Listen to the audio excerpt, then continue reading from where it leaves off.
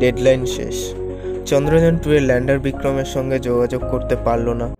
চোদ্দ দিনের মধ্যে বিক্রমের সঙ্গে যোগাযোগ স্থাপনের ক্ষীণ আশা ছিল। তাও শেষ হয়ে গেল।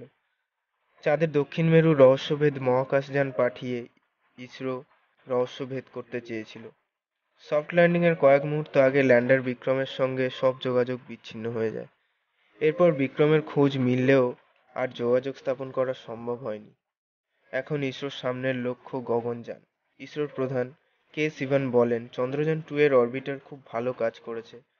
প্রতিটা যন্ত্র খুব ভালোভাবে কাজ করছে। কিন্তু আমরা ল্যান্ডারের সঙ্গে যোগাযোগ স্থাপন করতে পারিনি।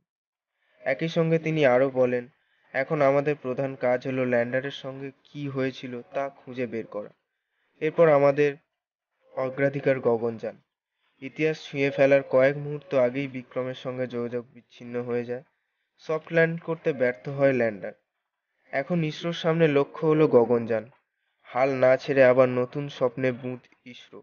সম্পূর্ণ ভেস্তে যায়নি চন্দ্রযান টু মিশন। এখন গগনযানে সাওয়ার হয়ে ভারতীয়রা এবার মহাকাশচারে পাড়ি দেবেন। গগনযানের জন্য বারো জন পাইলটকে প্রথম পর্যায়ে বেছে নিয়েছে ইসরো। এরপরেই মাথাচাড়া দিয়েছে একটি প্রশ্ন, কি এই মিশন? এর সঙ্গে চন্দ্রযান টু এর কি কোনো সম্পর্ক আছে? ইসরো ইতিমধ্যে বলে দিয়েছে, দুটি একেবারে স্বতন্ত্র মিশন। দু হাজার আট সাল থেকে এই নিয়ে প্রস্তুতি চলছে ইসরো। ইসরোর পরিকল্পনা কমিটির কাছে শুরুতে এ ব্যাপারে কোনো নির্দিষ্ট সময়রেখা ছিল না। তবে দু হাজার আঠেরো সালে স্বাধীনতা দিবসে প্রধানমন্ত্রী নরেন্দ্র মোদী ঘোষণা করেন দু হাজার বাইশ সালে মহাকাশে যাবে ভারত। গগনযান হলো একটি ভারতীয় মানববাহী মহাকাশযান এটা একটা ম্যান্ড মিশন। সেই সঙ্গে এটা হিউম্যান স্পেসিফাইড প্রোগ্রামেরও অংশ। মহাকাশযান তিনজনকে বাহন করার জন্য তৈরি করা হয়েছে। প্রথম মানব অভিযানে ভারতীয় মহাকাশ গবেষণা সংস্থা মূলত থ্রি পয়েন্ট সেভেন টনের, অর্থাৎ আট হাজার দুশো পাউন্ডের ক্যাপসুলটি তিন ব্যক্তিকে নিয়ে মহাকাশে আরোহণ করে সাত দিন পর্যন্ত আটশো কিলোমিটার উচ্চতা পর্যন্ত পৃথিবী প্রদক্ষিণ করবে।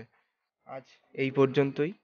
ভিডিওটি ভালো লেগে থাকলে লাইক, শেয়ার অবশ্যই করবেন এবং কমেন্ট করে জানাবেন ভিডিওটি কেমন লাগল এবং এরকম আরও ভিডিও পেতে চ্যানেলটিকে সাবস্ক্রাইব করুন।